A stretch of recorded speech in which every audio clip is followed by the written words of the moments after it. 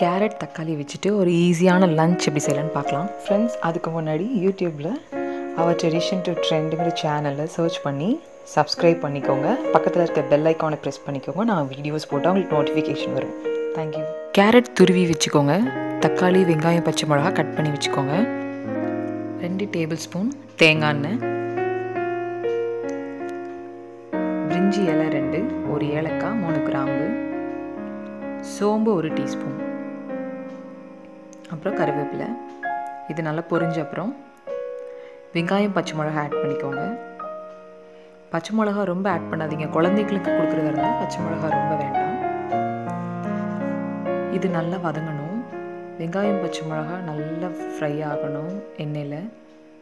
வெங்காயம் நல்லா brown colour ஆன அப்புறம் கேரட் துருவி வச்சுருக்கோம்ல அதை சேர்க்கணும். கேரட் கொஞ்சம் குக் ஆகிறதுக்கு டைம் ஆகும். நம்ம துருவி சேர்க்குறதுனால கொஞ்சம் மீடியம் ஒரு ஃபைவ் மினிட்ஸ் ஆகும். கொஞ்சம் வதக்கி விட் விட்டுக்கோங்க. நல்லா வதக்கிட்டு இது தேங்காய் எண்ணெய்க்கு பதிலாக நீங்கள் வந்துட்டு நெய் கூட சேர்த்துக்கலாம்.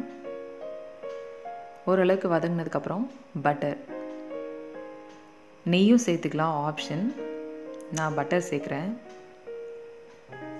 இன்னும் நல்லாயிருக்கும் கேரட்டுக்கும் பட்டருக்கும் காம்பினேஷன் சூப்பராக இருக்கும். ஸோ பட்டர் ஆட் பண்ணி நல்லா வதக்கிக்கோங்க. ஒரு ஃபைவ் மினிட்ஸ் நல்லா நீங்கள் ஃப்ரை பண்ணிங்கன்னா அது வெந்துடும் அதுக்கப்புறமா கட் பண்ணி வச்சோல்லாம் தக்காளி.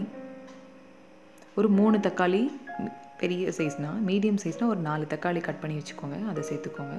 உப்பு போட்டு லைட்டாக வதக்கிக்கோங்க. தக்காளிக்கு மட்டும்தான் இப்போ உப்பு போடுறோம்.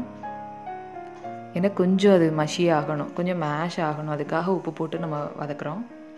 மேஷ் ஆனப்புறம் கேரட்டோடு சேர்த்து மிக்ஸ் பண்ணி நல்லா ஃப்ரை பண்ணிக்கோங்க. அதோட அந்த தண்ணி இருக்குல்ல தண்ணியாக இருக்கிற அந்த தன்மையெல்லாம் போகணும்.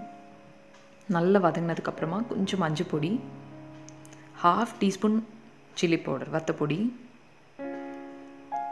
அவங்கவுங்க காரத்துக்கு ஏற்ற மாதிரி வத்தப்பொடி பச்சை மிளகா நீங்கள் அட்ஜஸ்ட் பண்ணிக்கோங்க. போட்டு இதையும் நல்லா வதக்கணும். மசாலா ஸ்மெல் போனதுக்கப்புறமா கரம் மசாலா. லாஸ்ட் ஆட் பண்ணுறோம் கரம் மசாலா. ஒரு ஆஃப் டீஸ்பூன் இதுவும் நல்லா வதங்கினதுக்கப்புறம் லாஸ்ட் வந்துட்டு நம்ம உப்பு ஆட் பண்ணணும். அதாவது மொத்தமாக இந்த கேரட்டுக்கு த தேவையான அளவு உப்பு ஆட் பண்ணுறோம் ஆட் பண்ணி இதையும் நல்லா ஃப்ரை பண்ணி விட்டுக்கோங்க. கேரட் வந்துட்டு இப்போ ஓரளவுக்கு நல்லாவே வெந்துருச்சு.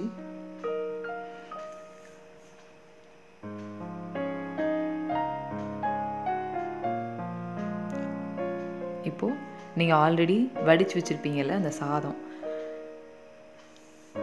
அதை மிக்ஸ் பண்ணிக்கோங்க. இது வந்து ரெண்டுலேருந்து மூணு பேர் சாப்பிட்லாம். நாலு கேரட் நாலு தக்காளி வச்சுட்டு மூணு பேர் அழகாக சர்வ் பண்ணலாம். Super quick healthy lunch ready try பண்ணி பார்த்துட்டு கமெண்ட் பண்ணுங்கள் தேங்க்யூ